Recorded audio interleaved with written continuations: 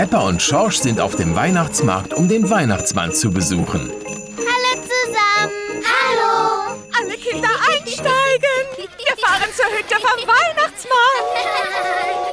Luzi, was wünschst du dir eigentlich vom Weihnachtsmann? Ich weiß noch nicht. Was willst du dir denn wünschen? Ich wünsche mir eine Puppe, die läuft und spricht und die ihre Augen zumacht, wenn sie schlafen geht. So eine wünsche ich mir auch. Wie kann sich der Weihnachtsmann bloß merken, was sich alle wünschen? Er macht eine Liste.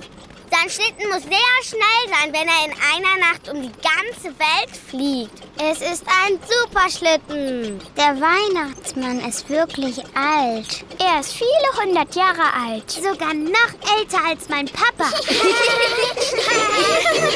Hütte vom Weihnachtsmann. Oh. Ho, ho, ho.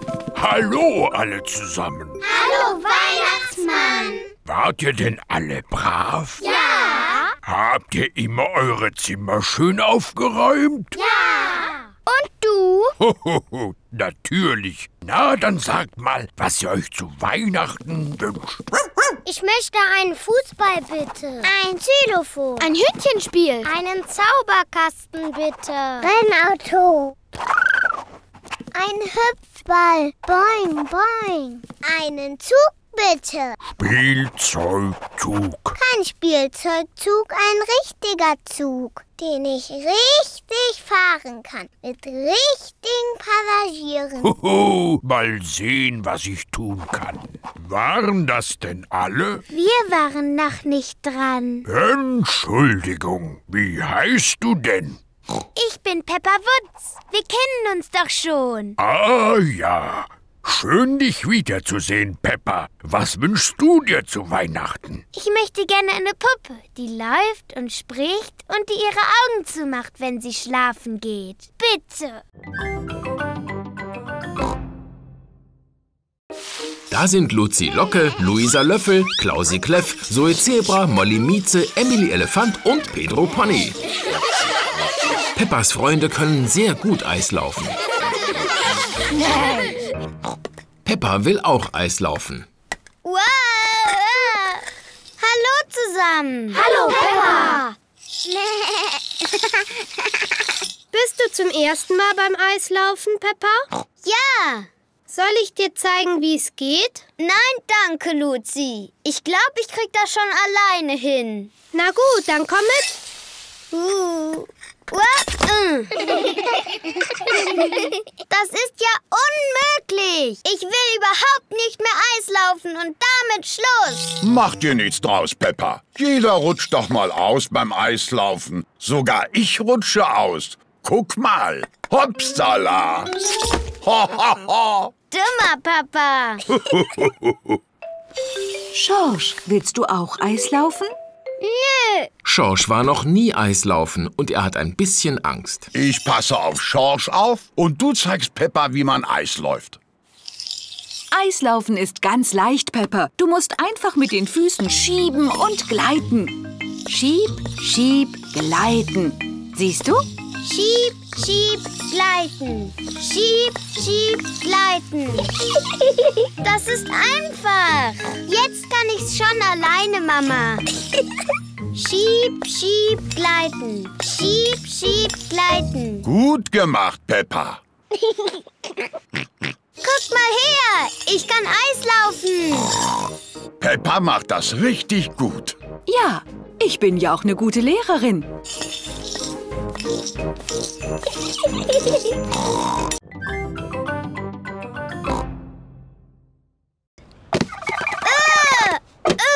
Es ist so kalt, dass die Matschepfütze zu Eis gefroren ist. Und das ist sehr rutschig.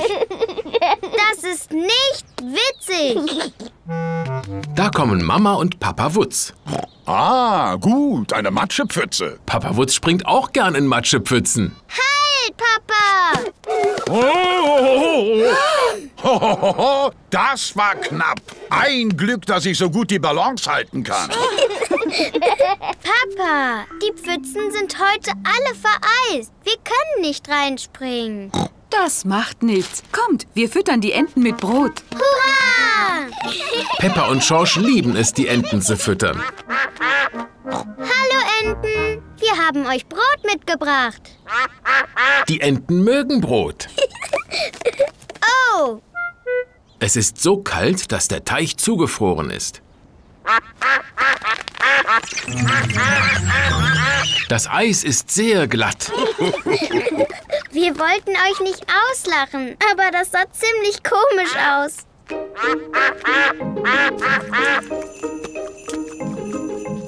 Es beginnt zu schneien. Schnee! Peppa und Schorsch lieben Schnee. Schorsch, wir fangen Schneeflocken. Peppa und Schorsch fangen Schneeflocken. Schorsch hat eine Schneeflocke gefangen. Peppa hat eine Schneeflocke gefangen. Oh, Da kommt Luzi Locke auf ihrem Schlitten. Hallo Peppa. boah, Luzi, das macht bestimmt Spaß. Wir rodeln alle zusammen auf dem großen Hügel. Da liegt eine Menge Schnee. Sollen wir auch auf den großen Hügel gehen und beim Rodeln zugucken? Ja, bitte.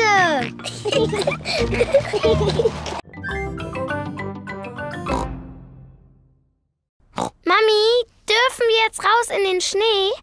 Ja, aber es ist sehr kalt draußen. Zieht euch bitte warm an. Hurra! Vergesst aber bitte auch Mützen, Handschuhe, Schals nicht. Es ist sehr kalt draußen. Peppa und Schorsch müssen Mütze, Schal und Handschuhe tragen. Los geht's, Schorsch. Peppa und Schorsch machen Fußstapfen in den Schnee. Peppa und Schorsch machen gerne Fußstapfen in den Schnee.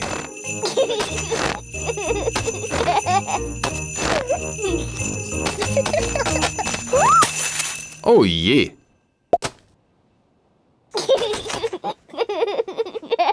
Das ist nicht lustig.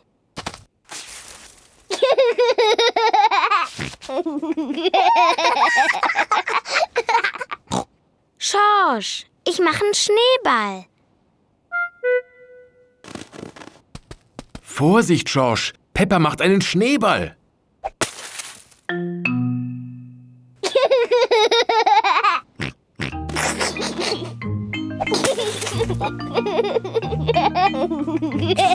Peppa und Schorsch haben einen Riesenspaß im Schnee. Schorsch, komm zurück, du Babyschweinchen.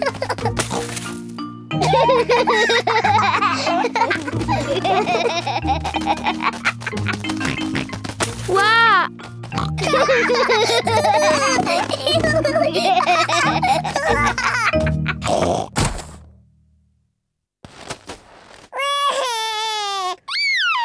Oh weh, dieses Spiel ist wohl ein bisschen zu rau. Entschuldigung, Schorsch.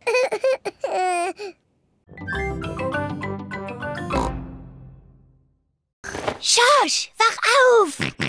Vom Weihnachtsmann! Seifenblasen, Comics und Mandarinen! Mama, Papa, es ist Weihnachten! Äh, was? Es ist noch zu früh, Peppa. Geht und wünscht Oma und Opa fröhliche Weihnachten. Oma, Opa! Keine Panik! Alle Mann an Deck! Es ist doch erst drei Uhr morgens. Aber der Weihnachtsmann. Dürfen wir mal gucken, ob er schon da war? Ja, ja, er war schon da. Hier, die Möhre, der Saft und der Kuchen sind weg. Da sind nur noch Krümel. Ja, der Weihnachtsmann mag guten Kuchen. Und unter dem Baum sind große Geschenke. Ich habe mir doch eine Puppe gewünscht. Dürfen wir sie jetzt auspacken? Wir packen die Geschenke erst nach dem Weihnachtsessen aus. Oh, lecker! Peppa und ihre Familie sitzen beim Weihnachtsessen. Hier sind Knallbonbons. Hey, da sind ja Papierhüte drin. Und Partytröten. Und Witze. Was läuft herum und ist orange? Keine Ahnung. Eine Wandarine. Der Weihnachtspudding schmeckt sehr gut. Peppa und George haben mir dabei geholfen. Wir haben ganz viel gerührt. Hast du dir was gewünscht, Peppa? Ja, ich habe mir gewünscht. Nicht verraten. Und jetzt die Bescherung. Yippie! Dieses hier ist für George. Es ist eine Autorennbahn. Das sieht aber kompliziert aus. Wollen wir mal sehen. Das gehört nach hier und das gehört nach da und das gehört hierhin. Auf geht's. Achtung, fertig, los. Rum. Schneemama, Schneepapa, Schnee, Schnee, Schnee. Was? Aber wir machen doch trotzdem unseren Ausflug ans Meer, oder? Also, lasst uns erst mal nachsehen, wie hoch der Schnee ist. Oh, wo ist denn Papa hin? Oh, da ist ein laufender Schneemann. Mir ist kalt. Ein laufender, schnaufender Schneemann. Oh, das ist ja nur Papa. Armer Papa, komm, wir wärmen dich auf. Mama Wutz, Peppa und George rubbeln Papa Wutz mit Handtüchern wieder warm. Schon besser. Jetzt können wir endlich ans Meer fahren. Bei dem ganzen Schnee? Ich kann mir nicht vorstellen, dass der Bus heute fährt. Oh, Da kommt Frau Mümmels Bus und hält vor Peppas Haus. Du meine Güte, wie haben Sie das geschafft bei dem ganzen Schnee? Mit meinem großen Schneepflug. Ein Schneepflug räumt den Schnee aus dem Weg. hallo zusammen. Hallo, Peppa. Alle Freunde von Peppa fahren auch mit an den Strand. Nächster Halt, der Strand. Herr Bulle und seine Freunde streuen die Straße. Das Streusalz taut den Schnee weg. Hallo, Herr Bulle. Oh, hallo, Frau Mümmel. Wir schuften schon die ganze Nacht. Und jetzt ist die Straße frei. Und zwar bis runter zum Strand. Das ist gut. Wir wollen nämlich an den Strand. Möchten Sie auch mitkommen? Nein, danke, Frau Mümmel. Wir haben noch mehr Straßen zu streuen. Wir sehen, Herr Bulle. Tschüss und einen schönen Tag am Strand.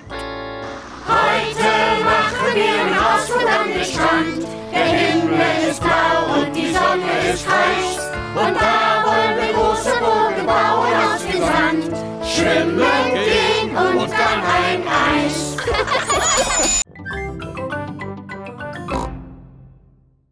Frau Löffel, warum arbeitest du nicht? Ich arbeite, Luzi. Was glaubst du, wer sich um diese kleinen Hasen kümmert? Du machst das, Mama.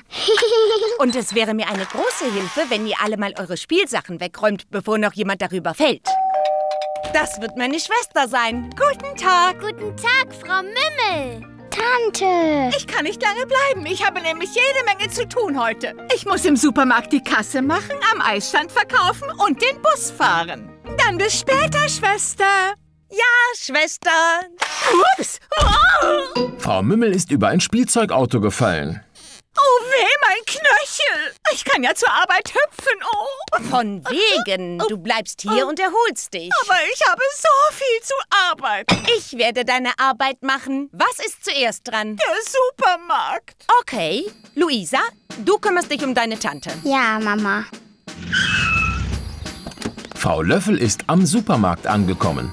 Zum Glück sind Sie da, Frau Mümmel. Frau Mümmel ist krank. Ich werde ihre Arbeit machen. Sie sind nicht Frau Mümmel? Nein, ich bin ihre Schwester, Frau Löffel. Muss ich hier sitzen? Äh, ja. Haben Sie schon mal an der Kasse gearbeitet? Nein. Was kostet das bitte? Oh, ich weiß nicht. Ich habe einen Gutschein. Haben Sie Rabattmarken? Kann ich mit Karte zahlen? Ähm, Luzi Locker hat ihr Krankenschwesterkostüm an. Keine Angst. Ich tue nur so als Krankenschwester. Strecken Sie Ihre Zunge raus und sagen Ah. Hier bei Luisa Löffel. Mit wem spreche ich bitte? hier ist Frau Löffel. Ist alles in Ordnung? Ja. Gut, denn diese Arbeit hier dauert den ganzen Tag. Und was ist mit den anderen Arbeiten von Frau Mümmel? Wir brauchen einfach mehr Hilfe. Alle kommen zur Geburtstagsparty von Edmund Elefant. Oh, meine Helfer sind auch da. Hallo, Frau Elefant. Na, dann kann die Party ja losgehen. Wer spielt denn gerne Stopptanz von euch? Ich! Also, das Spiel geht so. Ihr müsst tanzen, solange die Musik läuft. Und wenn die Musik stoppt, hört ihr sofort damit auf. Achtung, fertig, los! Los, jetzt tanzt doch endlich! Susi hier vorne blinzelt noch. Du bist raus. Augen, Ohren, Du hast dich bewegt, Josh. Du bist raus. Linus und Edmund sind auch raus. Und damit hat Sina gewonnen. Du kriegst eine Medaille. Die ist aus echtem Plastikgold. Mama, mit Stopptanzen sind wir jetzt fertig. Wunderbar. Dann spielen wir jetzt das wandernde Geschenk. Ja! Solange die Musik läuft, wandert das Geschenk im Kreis. Und der, bei dem die Musik stoppt, der wickelt das Geschenk aus. Achtung, fertig, los! Josh, gib das Geschenk weiter. Edmund bekommt eine Medaille. Beeil dich ein bisschen, Linus. Mach einfach das Papier ab. Linus bekommt auch eine Medaille. Schorsch bekommt eine Medaille.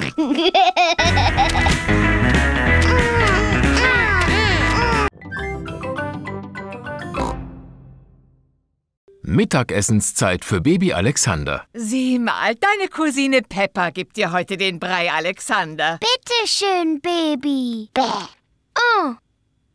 Hier, lecker. Ah, er dreht immer seinen Kopf weg.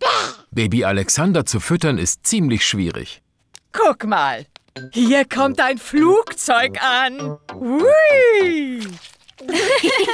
Alexander mag's gern, wenn man spielt, dass der Löffel ein Flugzeug ist. Versuch du's noch mal, Peppa. Hier kommt ein Flugzeug an. Schön den Mund auf und rein in die Garage. Hurra! Das war ein Flugzeug. Kannst du das schon sagen? Flugzeug.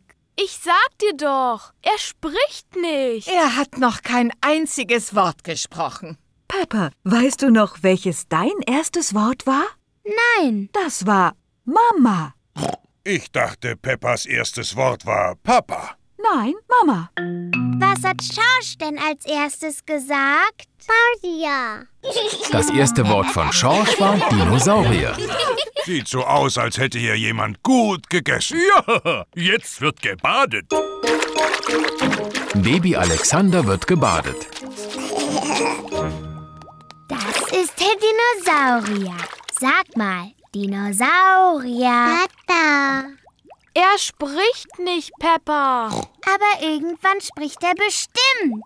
Und dann wisst ihr endlich, was er will. Was willst du denn jetzt machen, Alexander? Tata. Ich glaube, er möchte ein bisschen rausgehen. Laufen kann er noch nicht, aber wir fahren ihn im Buggy spazieren. Gar nicht übel, dieser Buggy. Ja, fünf Gänge, Schmutzfänger und ABS sind Standard. Bla bla bla. So reden nur Papas.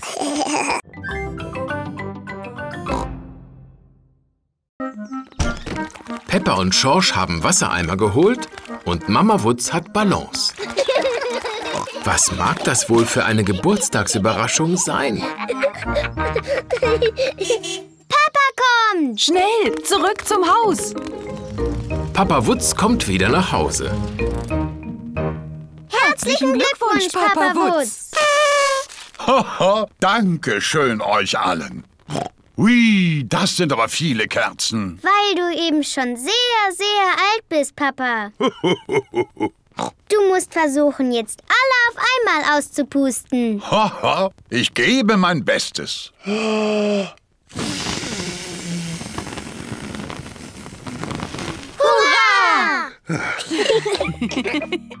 Und hier ist dein Geburtstagsgeschenk. Dankeschön. Neue Gummistiefel, fantastisch. Die probiere ich gleich an. Peppa, Schorsch und Mama Wutz tragen Gummistiefel. Papa Wutz trägt seine Geburtstagsgummistiefel. Papa Wutz hat eine kleine Pfütze entdeckt. Mal sehen, ob die Gummistiefel funktionieren. Die Pfütze ist ein bisschen zu klein für Papa Wutz. Hm, ich bräuchte eher eine größere Pfütze. Warum versuchst du es nicht mal hier drüben, Papa Wutz? Oh, was ist denn das? Das ist unsere Geburtstagsüberraschung. Was wird denn das? Eine große Matschepfütze. Fantastisch! Meine Geburtstagsgummistiefel sind perfekt. Habt ihr Lust, mir in meiner Geburtstagspfütze Gesellschaft zu leisten? Papa Wutz liebt es, in Matschepfützen herumzuspringen. Alle lieben es, in Matschepfützen herumzuspringen. Das ist der schönste Geburtstag von allen.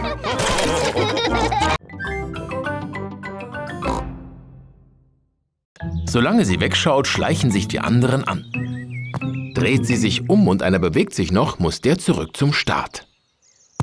Schorsch, du musst zurück. Du hast dich bewegt. Hab dich gewonnen. Ich war noch gar nicht so weit. Man darf aber losgehen, wann man will. Oder, Schorsch? Jetzt ist Chloe der schlaue Fuchs. Peppa und Schorsch müssen ganz still stehen. Peppa, du hast dich bewegt. Los, nochmal. Das ist gemein. Du guckst zu lange. Man darf aber genauso lange gucken, wie man will.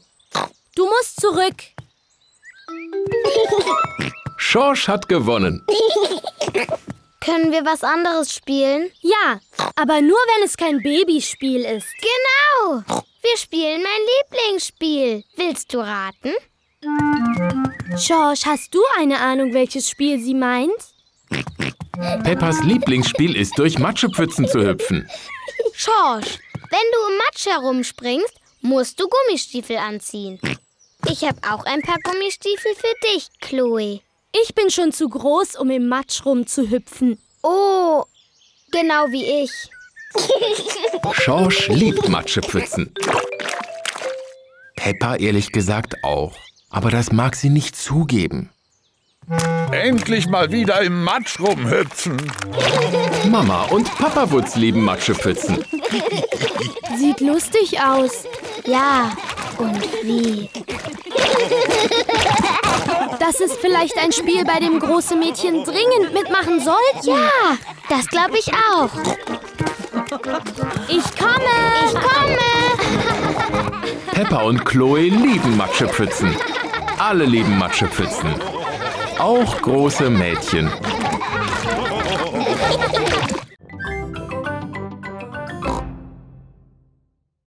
Es ist noch sehr früh am Morgen. Ich hab Geburtstag! Schorsch, wach auf! Ich hab Geburtstag! Wir feiern heute eine Party. Und Papa macht eine Zaubershow. Schnell, Schorsch, wir wecken Mama und Papa auf. Mama und Papa Wutz schlafen noch tief und fest. Wach auf! Ich hab Geburtstag! Wach auf! Hey, Wie spät ist es? Es ist sehr spät. es ist 5 Uhr früh am Morgen. Ja, der Tag ist schon bald um. Na gut, dann fangen wir sofort an zu feiern. Yippie! Mama, Papa und Schorsch geben Peppa ihre Geschenke. Herzlichen Glückwunsch, Peppa. Oh, was ist denn das? Ein Puppenkleid. Das ist was für Teddy. Danke, danke schön. Gern geschehen, Peppa.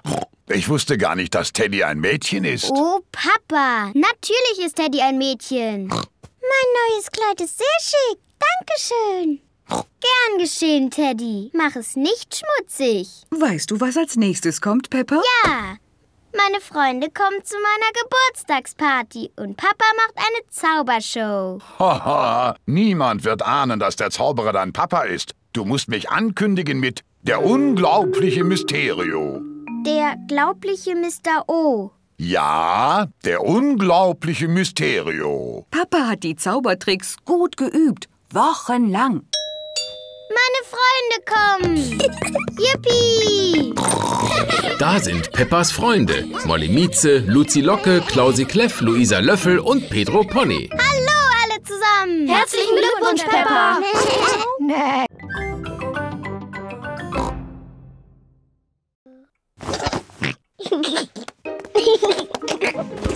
Schorsch, es ist viel zu früh. Sausia! Geh zurück ins Bett. Klingt, als wäre da jemand schon frisch und munter. Herzlichen Glückwunsch, Schorsch. Schorsch hat mich geweckt. Du hast auch alle geweckt an deinem Geburtstag, Peppa. Das ist was anderes. Das war mein Geburtstag. Und heute ist Schorschs Geburtstag. Oh, herzlichen Glückwunsch, Schorsch. Hier ist dein Geschenk, Schorsch. Uh. Sausia! Ich wusste, dass es irgendein Dinosaurier-Ding sein würde. Haha, drück mal auf seinen Bauch. Wie schrecklich. Schorsch, ich habe dir eine Geburtstagskarte gemalt. Rat mal, was ich dir gemalt habe. Schorsch kann es nicht erraten. Ich wollte dir eine Blume malen. Oh. Schorsch mag keine Blumen. Aber dann habe ich dir etwas anderes gemalt. Ein Sausia. Das ist ein sehr schönes Bild, Peppa. Ja, ich kann sehr gut malen. Jetzt machen wir noch einen Ausflug als besondere Geburtstagsüberraschung für Schorsch. Yippie, los geht's. Wohin fahren wir denn? Ihr werdet schon sehen. Die Familie fährt los zur Geburtstagsüberraschung für Schorsch. Gehen wir in den Zirkus? Nein, aber es ist genauso gut. Ähm, gehen wir ins Kino? Nein, viel besser. Ich komme nicht drauf. Wohin fahren Sie bloß? Wir sind da. Familie. Papa Wutz, Peppa und Schorsch schmücken das Wohnzimmer.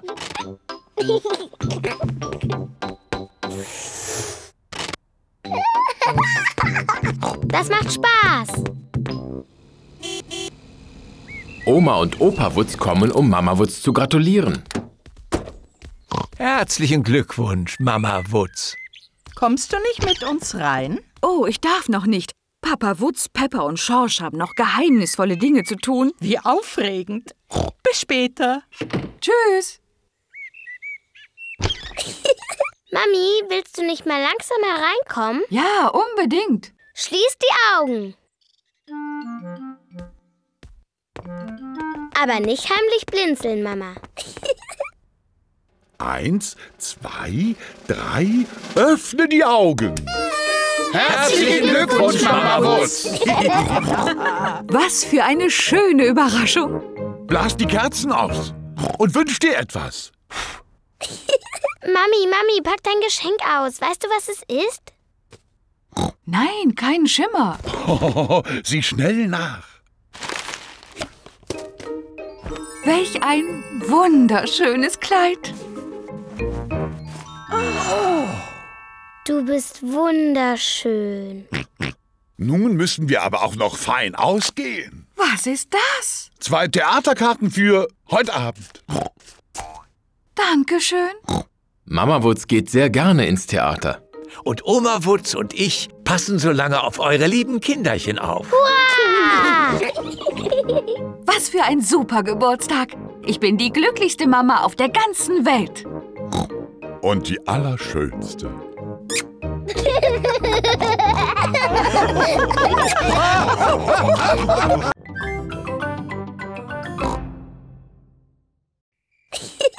Schorsch, ich werde nicht schlafen. Lass uns die ganze Nacht wach bleiben. Ich will die Zahnfee sehen.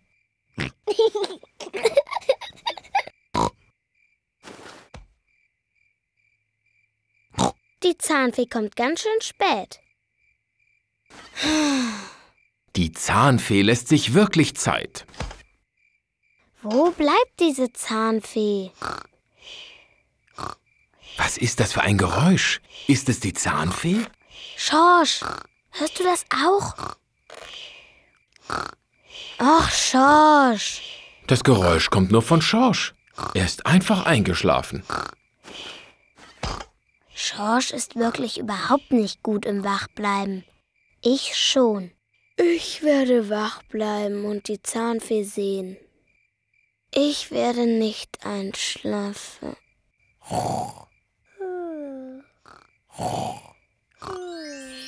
Die Zahnfee ist da. Aber Peppa schläft tief und fest. Hallo Peppa, gibst du mir deinen Zahn für diesen schönen Goldtaler? Wie blitzeblank der Zahn ist. Schönen Dank, Peppa. Schlaf gut.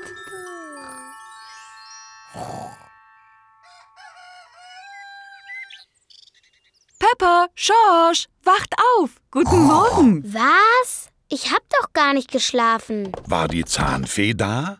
Nein. Guck doch mal unter dein Kissen. Sieh mal, Peppa. Die Zahnfee war da und hat dir einen Goldtaler gebracht. Hurra!